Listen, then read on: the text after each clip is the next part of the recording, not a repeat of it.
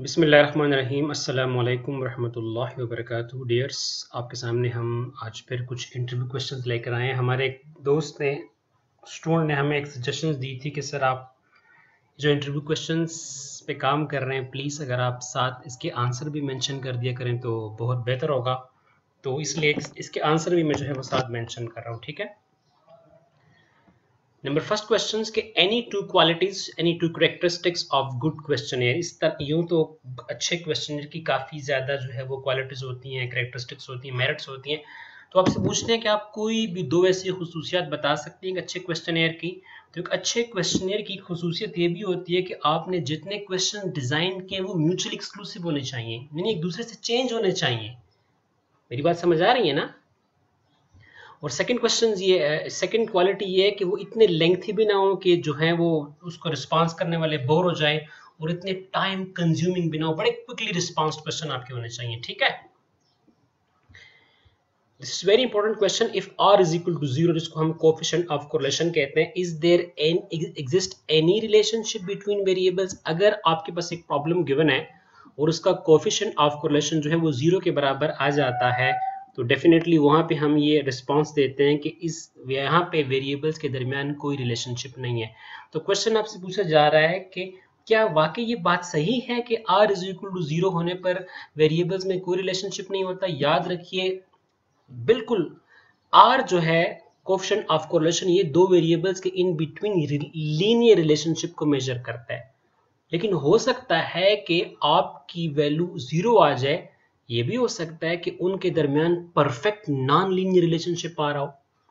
तो R is equal to zero का मतलब है कि there is no linear relationship इसके बरक्स हो सकता है कि आपके पास जो वेरिएबल्स रिकॉर्डेड है, उनके दरमियान परफेक्ट और स्ट्रांग जो हो नॉन लीनियर रिलेशनशिप मौजूद हो, ठीक है? How many parts of standard tables जब हम स्टेटिस्टिकल टेबल्स बनाते हैं तो उसके याद रखिएगा फाइव इंपॉर्टेंट पार्ट्स होते हैं।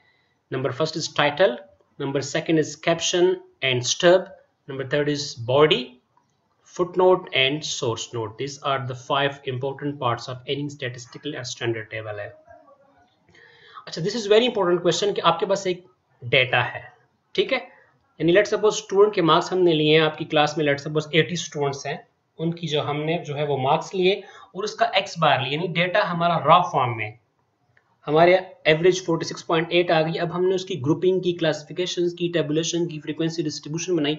वहाँ से हमारे पास एक्स बार की वैल्यू 46.91 आ रही है। तो आपसे पूछते हैं, ऐसा क्यों होता है? डेटा वही है। रा डेटा आपको आंसर कुछ और दे रहा है। ग्रुपिंग से कोई आंसर आपको और मिल रहा है। तो याद रखिएगा, इसको हम ग्रुपिंग एरर कहते हैं। क्या कहते हैं? इसको हम ग्रुपिंग एरर कहते हैं। ऐसा हमेशा होता है। और ऐसा क्यों होता है?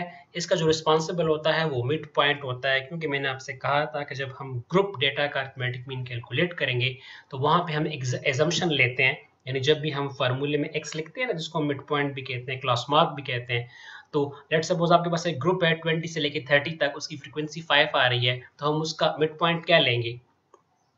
क्या लेंगे? 25 लेंगे ना? यानी हम एज्यूम करेंगे कि हर एक लड़के ने 25 मार्क्स लिए तो एक अजम्पन होती है। इसी की वजह से ये एरर आता है और उस एरर को हम ग्रुपिंग एरर के नाम से जानते हैं, ठीक है?